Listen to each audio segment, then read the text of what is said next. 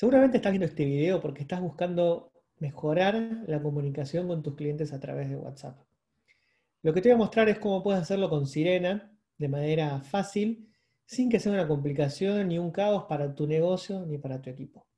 Mi nombre es Andrés Brusoni y soy el coordinador de ventas digitales de Sirena. Puntualmente lo que vas a ver este video va a ser una demostración donde vamos a simular ser el negocio y ser un cliente y así aprendas las diferentes posibilidades que te da Sirena. Por ejemplo, lo primero que vas a ver es cómo puedes hacer que tengas a todo tu equipo conectado a una sola línea de WhatsApp y que además puedas ver en tiempo real todas las conversaciones que está teniendo cada miembro de tu equipo con cada cliente. También vas a aprender cómo configurar fácilmente, sin ser algo muy técnico, cómo puedes configurar fácilmente robots de WhatsApp que te permitan tener un primer contacto muy ágil con tus clientes y le ahorre mucho tiempo a tu negocio y a tus asesores.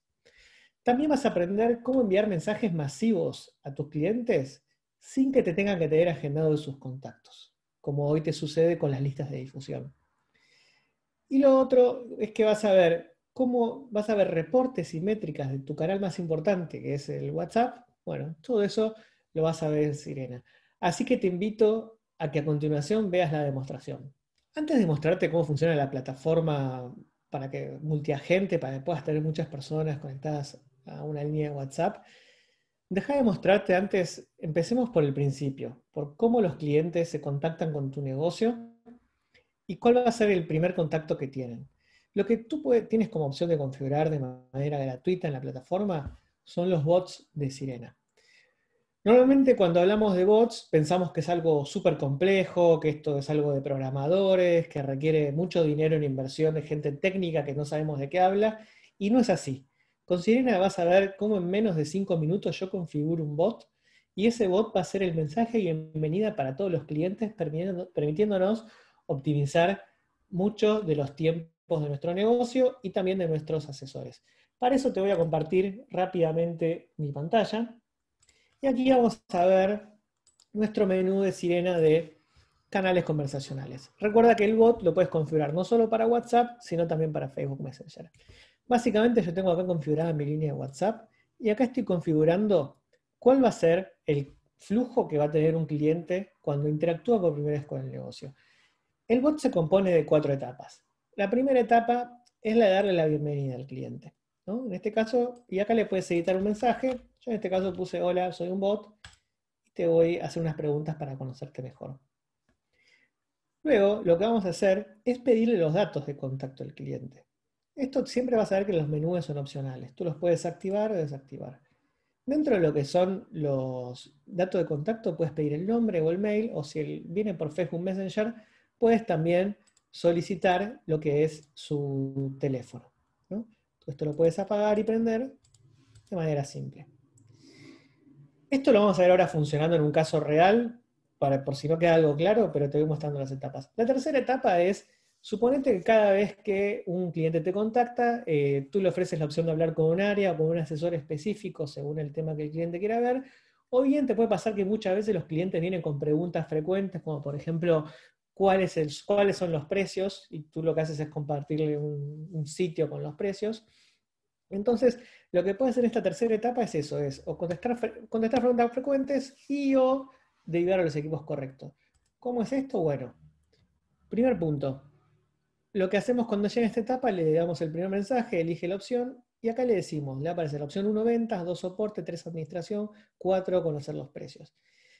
En caso de soporte, si alguien elige la opción 2 soporte, le damos la opción transferir al equipo a hacer área de soporte y automáticamente el contacto va a llegar al área de soporte. Ahora después vamos a ver cómo en el producto. Suponete que dentro de ventas tú tienes dos países, tienes Brasil y México. Bueno, lo que puedes configurar es que dentro de ventas la persona elige el país, puede ser una gama de productos, puede ser una línea de marcas que vendas, etc. Entonces que dentro de ventas tengas submenús con diferentes opciones, incluyendo siempre la opción de regresar al menú anterior. Bien, y lo otro que te puede suceder es que los clientes tienen preguntas frecuentes, como por ejemplo deseo conocer los precios. Cuando un cliente desea conocer los precios, lo que configuras es un mensaje para esta pregunta frecuente, donde le das la respuesta, pero también le la opción de hablar con un agente. Entonces, si la persona habla con un agente, lo transferimos al área de ventas y si no, lo archivamos y lo dejamos como no interesado por el momento. Luego, para los contactos que son transferidos a un representante, normalmente lo que sucede es que los representantes terminan siempre haciéndole las mismas preguntas iniciales a los contactos para poder un poco entrar en contexto y darles la solución adecuada. Bueno, eso ya no lo van a tener que hacer más, porque el bot los va a, poder hacer por ellos. ¿De qué manera? En la parte de calificación. Ya puedes configurar y, por ejemplo, cuando alguien va a hablar con el área de ventas, yo le voy a hacer estas dos preguntas. ¿Qué desafío estás intentando resolver o en qué producto, y en qué producto estás interesado? Estas son preguntas abiertas para que el cliente conteste mientras el asesor toma el caso y así le bajamos un poquito la ansiedad al cliente. Yo voy a guardar. Y aquí tenemos el robot configurado. Lo que voy a hacer ahora es hacer una simulación de que, donde yo voy a contactar por WhatsApp a este negocio y el bot me va a atender y después vamos a ver qué pasa luego que el bot me transfiera. Bien, para eso te voy a compartir pantalla y vamos a hacer una simulación.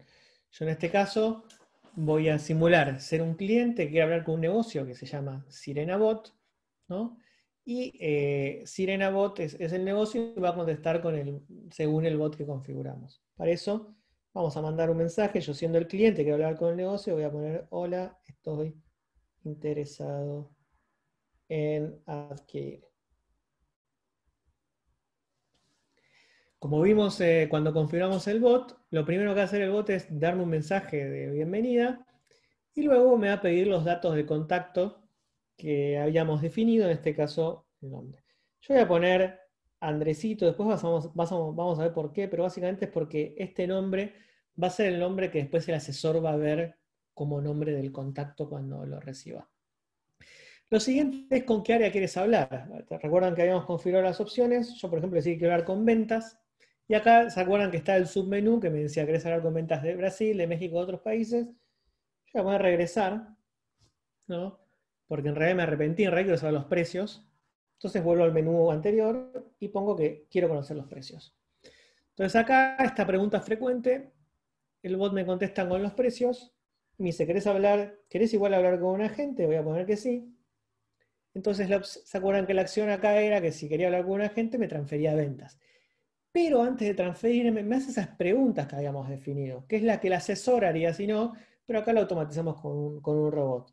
¿En qué producto estás interesado? Bueno, yo estoy interesado en Sirena Bots, ¿no? Y ahí con el emoji. Y lo otro que, que nos va a preguntar era qué desafío estás intentando resolver, entonces voy a poder automatizar. Entonces lo que va a suceder acá es que me va a transferir con un agente. Perfecto. Ya aprendiste hasta ahora cómo configurar un bot y darle la bienvenida inicial a los clientes y hacerle las preguntas que hasta ahora hacían tus asesores. Lo que vamos a ver ahora es qué sucede cuando el cliente termina de hablar con el robot, cómo cualquier persona de tu equipo puede recibir al cliente y el cliente va a seguir hablando desde la misma línea.